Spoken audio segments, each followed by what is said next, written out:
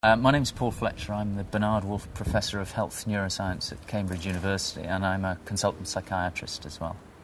I'm here for the uh, Daedalus Research Cafe meeting discussing uh, the factors leading to and exacerbating the recently described syndrome, the hubris syndrome, which uh, Lord Owen believes is an important factor con- to consider in uh, politicians, particularly successful politicians.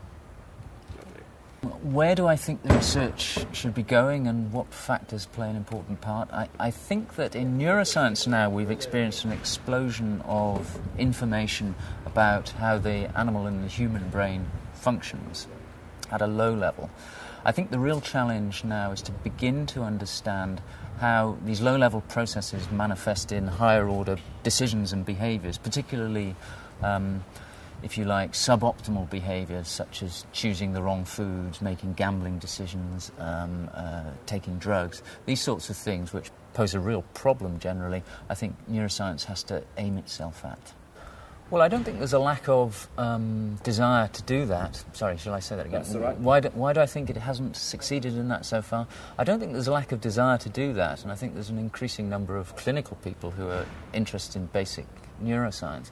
I think it's partly not succeeded because the challenges are huge. We need to bring together a number of levels of inquiry from the genetic to the molecular to the neurobiological, right through to the higher level psychological and policy based research. And I think that's going to require people talking to people in new and, and creative ways. At one level, you could say it's not that important because very few people are in positions of power and therefore very few people might have it. But actually, if you're in a position of power, what you do affects lots and lots of other people. So any decision taken at the political level affects hundreds of thousands, if not millions of people.